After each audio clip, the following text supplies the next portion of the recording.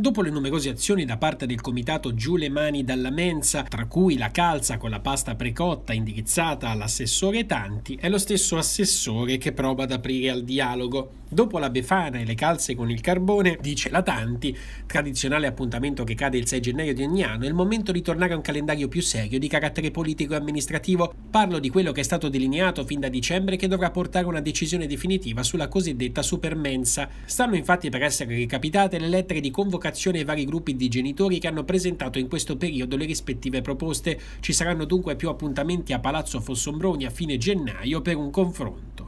A quegli incontri ci saremo io, i funzionari degli uffici comunali e le carte progettuali valutate dai tecnici dell'amministrazione che avranno nel frattempo espresso un giudizio di fattibilità concreta sui quattro progetti in campo. Il project financing per la supermensa, che è quello al quale va la mia preferenza, a dimostrazione del fatto che mi piace sempre giocare a carte scoperte. La supermensa con risorse comunali senza ricorrere al project, soluzione che implicherebbe scelte repentine di ridistribuzione di risorse nel bilancio e dunque il sacrificio di opere già programmate, magari proprio sull'edilizia scolastica. Il potenziamento delle 12 cucine esistenti, chiamiamola la proposta della calza, 6 cucine, una per ogni istituto comprensivo.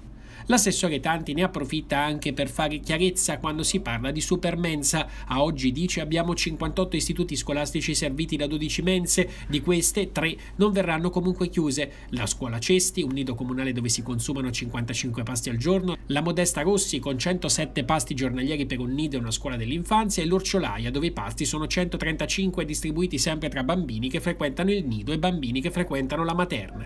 Si scende dunque a 9 mense per 55 istituti. Questo è il quadro attuale, dunque la conclusione, secondo l'assessore, è che la supermensa finirebbe per ridurre le cucine da 9, numero già esiguo rispetto alle scuole da servire, a una, o meglio, da 9 piccole e vecchie, sempre secondo la Tanti, a una moderna ed efficiente. Non è quindi una questione di numeri, ma di modernità, qualità e sicurezza alimentare, conclude l'assessore.